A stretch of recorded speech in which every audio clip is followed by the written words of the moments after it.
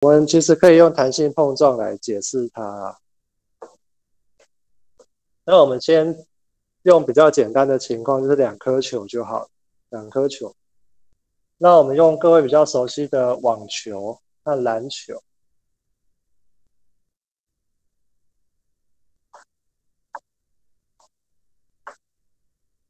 啊，这个网球和篮球啊，那这个篮球我们叫它大 M，然后网球叫它小 m。那假如说他们从一个高度，我们先把它看成，不要先不要考虑它的直径，我们先简化问题，简化问题，你要考虑它的直径也可以，那是比较深入的问题。那我们先简化，简化成两个点就好了。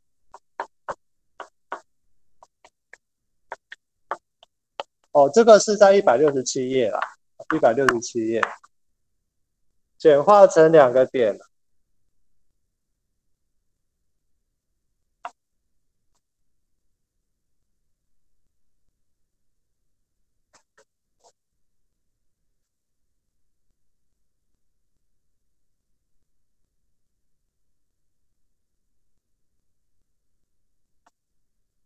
它是呃。它是一号，它是二号，这样子。然后，如果我们让它从一个高度这样掉下来，高度 h，这样，就比如说从二楼或三楼，三楼大概几公尺？大概十五公尺，有吗？十五公尺，有那么低吗？三楼就是二楼天花板，那一层楼五公尺，应该一层楼有五公尺。一层楼四公尺，啊，反正就是反正就差不多十五公尺。那从十五公尺，假如说随便 h 这样掉下来，那我们知道说这两个落地前啊，应该速度都会一样，因为轻的重的，先不要考虑空气阻力，它落地的前一刻速度都一样，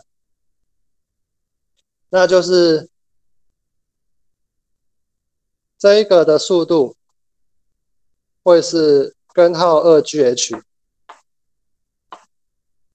这个是二号它的末速度，然后我们是把它看成一个，两个都看成一个点，哦，所以一号的速度也是一样，也是根号二 Gh，这个是一号，也就是网球的速度，然后它，我们是把它看成。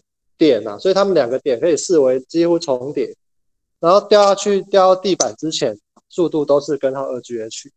这怎么算的？你可以用等加速度运动公式第三条，v 零平方加二 Gh 等于 v 平方，然后从静止状态落下，所以这个末速度是根号二 Gh 嘛。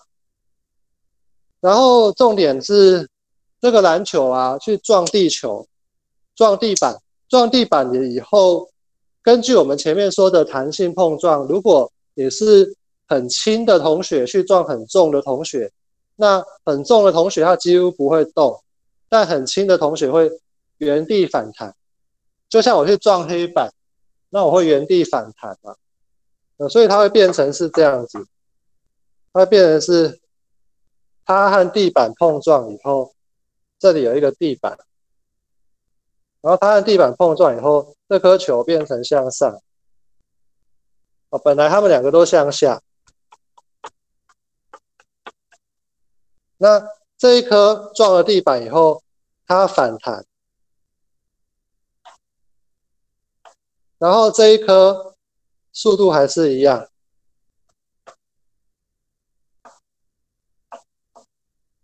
这样。撞下去，就是篮球先反弹，然后网球再跟篮球撞。啊，这时候呢，它的一个物体质量是 n，一个物体质量是小 n，它是二号，它是一号。那我们想要知道一号在他们在转完之后的速度，你就带那个弹性碰撞的公式。那我们以向上为正。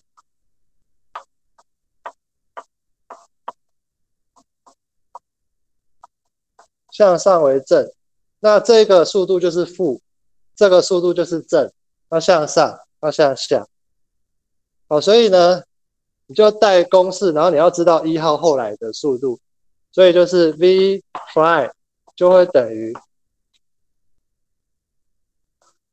太太挤了一点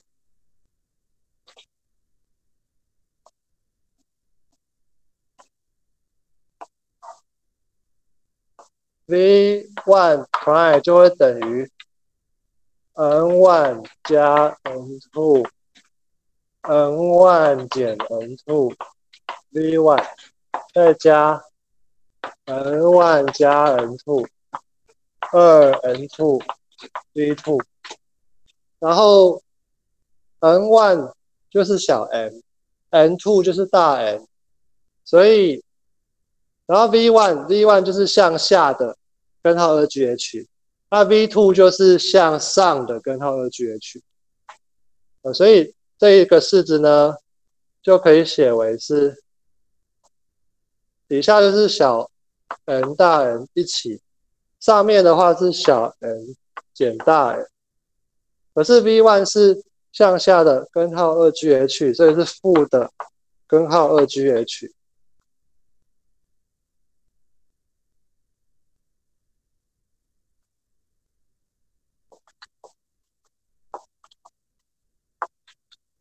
然后后面这一项，再加上底下也是小 n 和大 n 一起，上面是两倍的 n two，两倍 n two 就是两倍大 n，所以两倍大 n，然后 v two，v two 是根号二 gh，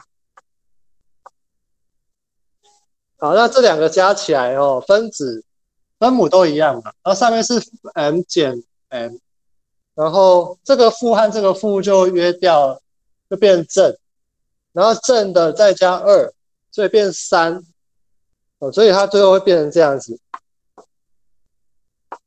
，n 加 n，然后三 n 减 n，然后根号二 gh，这样，那最后一步就是。当这个两个物体哈质量很悬殊的时候，就是篮球和网球，他们还没有差很多啦。但是，假如是篮球和乒乓球，那差的比较多。那你这时候这个一百万，这个六十公斤，三百万减六十公斤，那这个减六十公斤或加六十公斤就可以忽略。那结果就会变成是。就会变成是 n 分之三 n，然后根号的二 gh，那结果这两个 n 又消掉，所以最后变成三倍的根号二 gh，变成三倍的速度哦，哦，就是说那个这两个撞下去以后，上面的这个喷出去的速度比它下来的速度那个大小哦，差三倍。就是它下来是根号二 gh 嘛，可它反弹回去的时候是三倍的根号二 gh。那前面又说 v 平方等于二 gh，对不对？v 平方等于二 gh，那你这个 v 变三倍，这个 h 就要变九倍。哦，所以你如果是这边是变三倍了，那平方掉了。所以这里就要变成九倍。那如果你是从十公尺的地方球这样掉下来，两颗球这样叠起来，然后十公尺高这样掉到地板上，喷上去的那颗就乘上九倍，九十公尺。它没有办法真的那么高啦，因为有它并不是完美的弹性碰撞，而且它质量也不是说就真的那么悬殊。然后还有空气阻力，呃，所以它其实不会说真的飞到九十公尺。可是你刚刚也看到那个影片，它其实可以飞蛮高的。以后各位有机会可以自己玩玩看，很有趣。